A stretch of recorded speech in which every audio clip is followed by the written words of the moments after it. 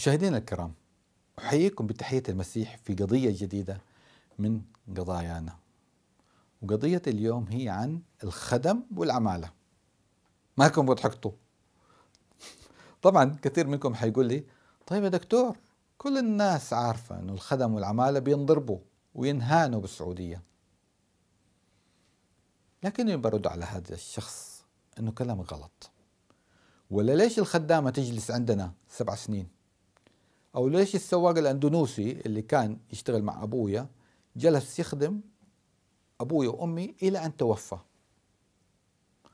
طبعا مش حنا بس لكن في كثير سعوديين يحبون يعاملون الخدم بشكل إنساني وراقي. وهذا يعود للمحبة المتأصلة في شعبي الحبيب. لكن الحقيقة أنه هناك من يظلم العمالة عندنا ويضربهم وما يعطونهم حقوقهم. هذه حقيقة. وهذا يعود للنظرة الفوقية على أساس كنتم خير أمة أخرجت للناس.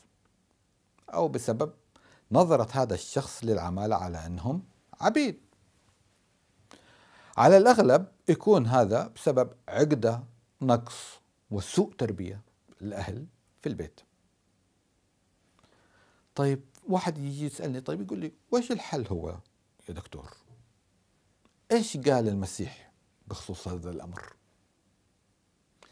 الرب يسوع المسيح يقول على لسان رسوله وأنتم أيها السادة افعلوا لهم يعني الخدم والعمالة هذه الأمور تاركين التهديد عالمين إنه سيدكم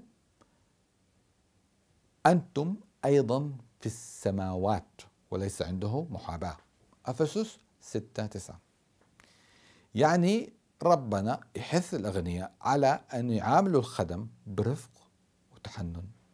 لأن الفقير ترى هو مثل الغني في نظر الرب. الرب يبارك في شعبي وإن شاء الله هذه القضية نحطها أمام عرش النعمة والرب يتعامل معها ونكون أحسن وأحسن في تعاملنا مع الخدم والعمالة. بالمسيح يسوع. آمين.